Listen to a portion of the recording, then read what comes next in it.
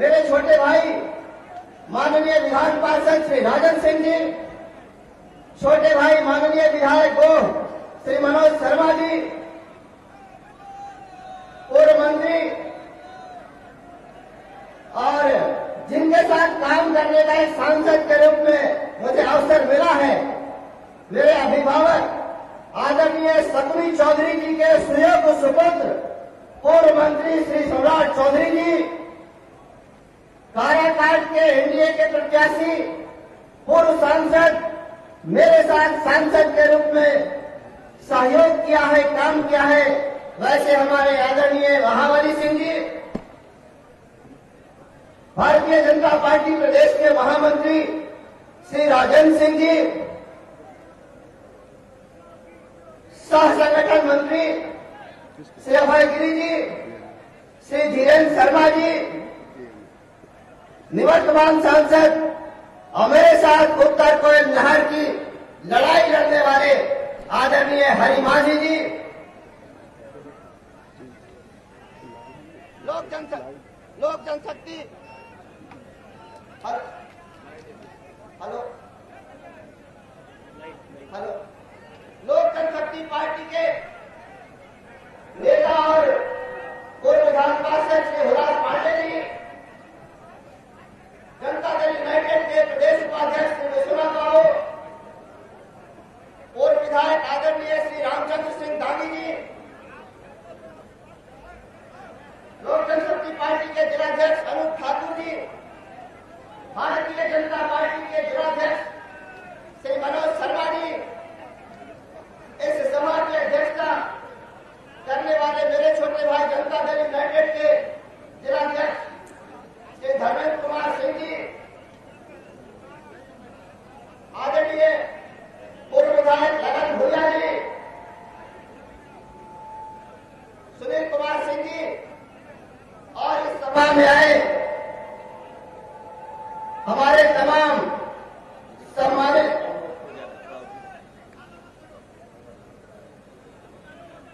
सभी संगठन के पदाधिकारीगण उपस्थित इस मैच की सभा में उपस्थित मेरे सम्मानित आदरणीय बुज़ुर्ग नौजवान दोस्तों माताएँ के हमारे मित्र मित्रों,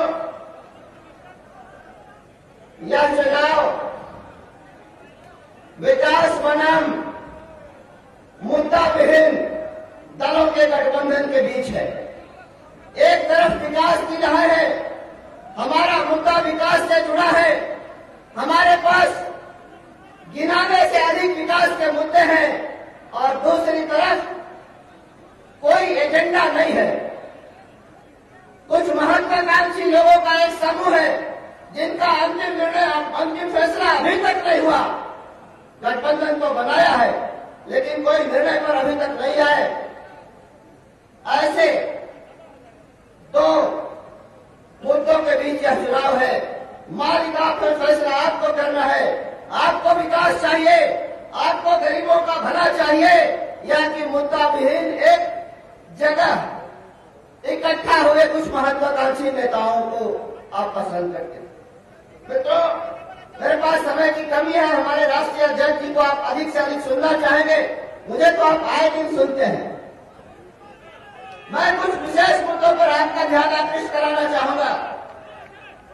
हम सभा के नेता, देश के यशस्वी प्रधानमंत्री हमसे लोग पूछते हैं मीडिया के लोगों ने भी प्रश्न किया कि 2014 के मुद्दे में और आज के मुद्दे में क्या फ़र्क है क्या अंतर है उस समय मोदी जी को लोगों ने क्यों पसंद किया था और 2019 में मोदी जी को लोग क्यों पसंद करेंगे मैंने कहा उन साथियों से कि 2019 में लोगों ने आदरणीय नरेंद्र मोदी जी ने उम्मीद देखी थी, भरोसा जताया था, विश्वास करके उनको देश के प्रधानमंत्री के पद पर आसीन किया था। और 2019 में यही अंतर है कि उन लोगों ने जो उम्मीद जताई थी, जो भरोसा जताया था, जो विश्वास किया था, उस पर हमारे नेता आदरणीय नरेंद्र मोदी जी शत प्रतिशत खड़े होते हैं लोगों का ऐसा विश्वास है। कि उसी नरेंद्र मोदी को दोबारा हम प्रधानमंत्री बनाएँगे, जो हमारे विश्वास पर खड़ा उतरा है। साथियों, गरीबों के लिए रहने के लायक पक्का मकान। हर घर में शौचालय, घर घर रसोई, घर घर में गैस का मुफ़्त कनेक्शन, घर घर में बिजली और मुफ़्त में कनेक्शन मिलने का ये सारी चीज़ें आयुष्मान भारत योजना लोगों के इलाज के लिए, चिकित्सा के लिए पाँच लाख रुपए की सुविधा। साथ साथ मित्रों, आप मुझसे भी जानना चाहेंगे कि केंद्र की सरकार ने तो गरीबों की भलाई के लिए बड़ा काम किया। विकास के बहुत सारे काम किए। राज्य की सरकार काम कर रही है जनता के लिए, इस सूबे के विकास के लिए। नीतीश कुमार जी के नेतृत्व में। राम आदरणीय रामराज पासवान जी गरीबों के हक हुकूक की बात करते हैं, उनकी लड़ाई लड़ते हैं, उनके लिए संघर्ष करते हैं। लेकिन आपको तो हम लोगों ने पहले भी मौका दिया, आपने क्या किया? मैं बताना चाहता हूँ अपने राष्ट्रीय अध्यक्ष जी के सामने आपको। पैतालीस साल पहले उत्तर गोयल नहर का काम शुरू हुआ, मित्रों। बाईस साल से उसमें काम रुका था, कुटकुट डैम में फाटक लगने पर बंद था। मैंने इसकी गुजारिश तत्कालीन प्रधानमंत्री श्री मनमोहन सिंह जी से भी की थी, लेकिन निराशा हाथ लगी। मैं हताश नहीं हुआ, निराश ज़रूर हुआ था। और 2014 में जब तीसरी बार आप लोगों ने अपना आशीर्वाद देकर मुझको अपना सांसद चुना, देश की सबसे बड़ी पंचायत में भेजा। हम छह सांसदों की एक टोली, जिसमें तीन हम लोग यहाँ मौजूद हैं। आदरणीय गोपाल नारायण सिंह जी, श्री हरिमाधी जी और मैं, इसके अतिरिक्त झारखंड के दो दो सांसद श्री सुनील कुमार सिंह जी और Shri B D Ram B D Ram ji, Jehanabad के सांसद अरुण बाबू। हम छह लोगों के एक टोली आदरणीय प्रधानमंत्री जी से मिले और उनके द्वारा जो आश्वासन मिला, जो भरोसा दिया गया, जहाँ हम कभी निराश हुए थे, हताश नहीं हुए थे वहाँ हमारे अंदर ऊर्जा का संचार हुआ और केवल ऊर्जा का संचार ही नहीं हुआ लगातार बैठ के होने लगी प्रधानमंत्री कार्यालय में और उसमें जो बाधा थी केंद्र सरकार ने उसे दूर किया 16 अगस्त 2017 को 1622 करोड़ सैतालीस लाख रुपए की स्वीकृति दी प्रतिबंध को हटाया और हमारे आदरणीय प्रधानमंत्री जी ने 2019 के 5 जनवरी को डाल टेंशन में उसके अधूरे काम का शिलान्यास कर दिया काम शुरू है। मित्रों मित्रों सोनहर का जीर्णोद्धार मेरे प्रयास से हुआ। एक बात कहते हुए मुझे खुशी हो रही है कि सूबे के अंदर, इस प्रदेश के अंदर सड़कों के निर्माण के मामले में मैं पूरे बिहार में नंबर एक पर हूँ। ये बताते हुए आपको मुझे खुशी हो रही है। औरंगाबाद शहर में बाईस हज़ार रसोई तक पाइपलाइन के माध्यम से खाना बनाने वाली गैस एक से डेढ़ साल के अंदर पहुंचेगी, ये भी बताते हुए मुझे खुशी हो रही मित्रों, कई सालों से लड़की योजना बिहटा औरंगाबाद रेल लाइन इस साल हम लोगों के प्रयास से 25 करोड़ रुपए भारत सरकार ने अपनी बजट में प्रावधान किया है। कार्यारंभ होने वाला है। आप लोग रेल पर चढ़ के औरंगाबाद से पटना जाएँगे जगह जगह औरंगाबाद ज़िले में साथ साथ गया ज़िले में।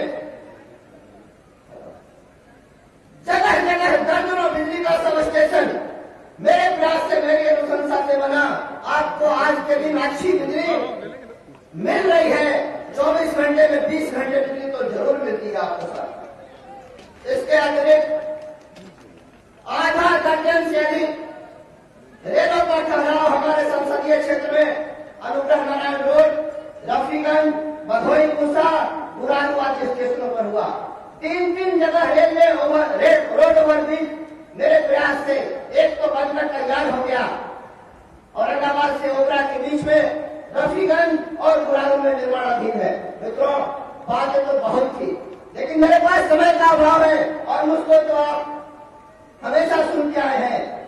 मैंने जो काम किया है, आप लोगों के बीच रहकर, अधिकतम समय अपने संसदीय क्षेत्र में अपनी जनता के बीच देकर सरल तरीके से, सुलभ तरीके से आप लोगों के बीच उपलब्ध रहकर सम्मान के साथ आप लोगों की जो सेवा की है, उसी के आधार पर आपका बेटा, आपका भाई सुशील सिंह आपसे आशीर्वाद मांगने आया तो मुझे पूरा भरोसा है कि छप्पन इंच के सीने वाला हमारा नेता पाकिस्तान को उरी और पुलवामा पर करारा जवाब देने वाला हमारा नेता ऐसे नेता को आप दूसरी बार प्रधानमंत्री के तौर पर देखना चाहेंगे। इन्हीं शब्दों के साथ मैं अपनी वाणी को विराम देता हूँ। एक सूचना के साथ कांग्रेस पार्टी के वरिष्ठ नेता श्री मुनिंद्र राम जी, युवा नेता बड़े कर्मठ, भाई गौरव गौरव अकेला जी कांग्रेस पार्टी के वरिष्ठ नेता श्री अजित कुमार सिंह जी और श्री धीरेन्द्र राम जी आज भारतीय जनता पार्टी परिवार में शामिल हो रहे हैं। मैं इन सारे वरिष्ठ नेताओं का इस मंच के माध्यम से स्वागत करता हूँ। धन्यवाद।